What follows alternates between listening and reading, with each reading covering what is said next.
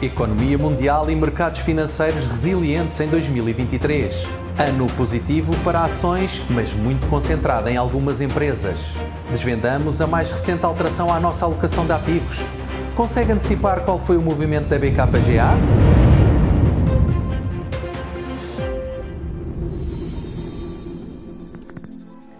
Este segundo quadrimestre de 2023 teve três temas a pautar a evolução dos ativos de risco: a inflação, a tentativa de a diminuir por parte dos bancos centrais e o abrandamento económico daí resultante. Os mercados reagiram com aparente nervosismo às subidas de taxas de juro e principalmente aos comentários dos principais agentes decisores, que reiteraram a manutenção das políticas monetárias restritivas. No que diz respeito à inflação, nos Estados Unidos continua a registrar-se uma diminuição rápida dos seus níveis. Já na Europa, a descida está a ser mais lenta e de menor amplitude, principalmente nos países do centro e do norte. A Fed encontra-se nos 5,5%, o que provavelmente representa estarmos perto do pico do atual ciclo de taxas de juro. O BCE está nos 4,25%, insinuando uma possível pausa durante os próximos meses, devido à queda da inflação na zona euro e aos débeis dados macroeconómicos. No Reino Unido, o pico de taxas esperado está agora situado em redor dos 5,75%, bem abaixo dos valores que se registavam antes da última reunião do Banco de Inglaterra.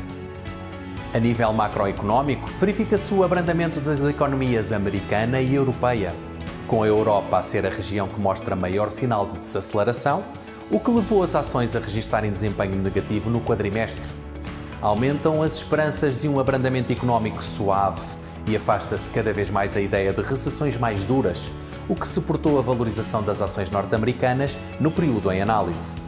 Em contraste, destaque negativo para a economia chinesa, que continua a mostrar sinais de um abrandamento mais forte, o que levou o seu mercado acionista a registrar quedas em contraste com a valorização dos mercados emergentes. Obrigações com retorno positivo em geral, com exceção da dívida pública, do investment grade norte-americano e dos mercados emergentes em moeda local. Os fundos da BKGA beneficiaram deste contexto e registaram rendibilidades positivas no segundo quadrimestre do ano. Retornos esses que foram tanto maiores quanto mais elevada foi a exposição a ações. O Banco Inter Mega TT ainda sofre das maleitas que têm afetado o investimento temático em 2023, com a natural exceção da inteligência artificial. Apesar do desempenho positivo das ações em 2023, a concentração de contribuidores para esse retorno é muito elevada. Tomando como exemplo os Estados Unidos, as 10 ações com maior contribuição para o retorno desde o início do ano são responsáveis por 83% do retorno total. Se retirássemos estas ações, o desempenho seria de 4,16 face aos 17,4% registados o que dá bem para perceber o impacto que estas 10 ações tiveram este ano para o global das ações americanas. Outro ponto: cerca de 40% das empresas ainda se encontravam negativas a finais de agosto. Com isto, queremos demonstrar que tem sido um ano muito difícil para a diversificação total, mas extremamente importante em termos de alocação tática de ativos e da escolha dos títulos em que se investe. Recentemente, alterámos a nossa alocação de ativos estratégica passando de subexposição a ações para neutral. Continuamos subexpostos à liquidez e com sobreexposição a obrigações. Nas obrigações, em termos táticos e face ao benchmark das carteiras, privilegiamos o investimento em obrigações de empresas versus dívida pública, tendo em conta os níveis das yields da dívida das primeiras, com sobreexposição aos segmentos de investment grade e high yield. Nas ações, no lado dos Estados Unidos, com o aproximar do ponto mais alto das taxas de juro e tendo em conta a solidez dos resultados das empresas, alteramos o posicionamento de subexposição para sobreexposição. O abrandamento da economia americana deverá ser suave e a descida da inflação irá provavelmente conduzir a descidas de taxas. Estamos positivos para a Europa e para o Reino Unido.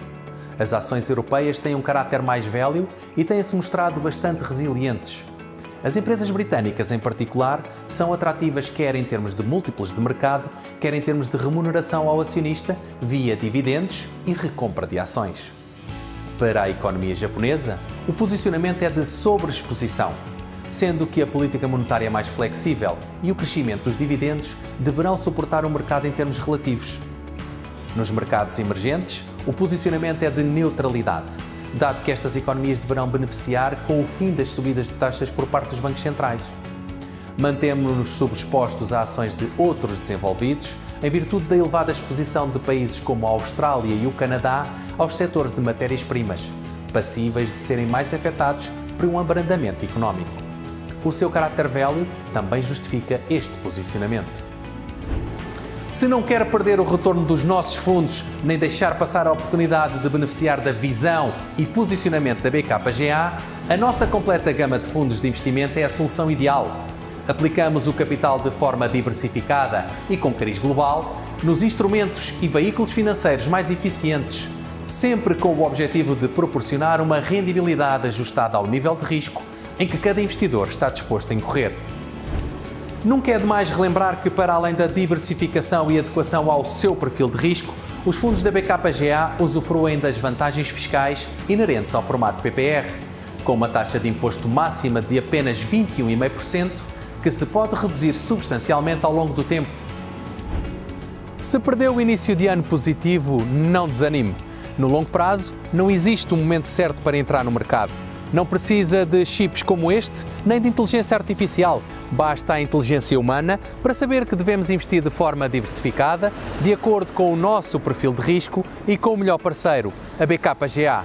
Invista connosco.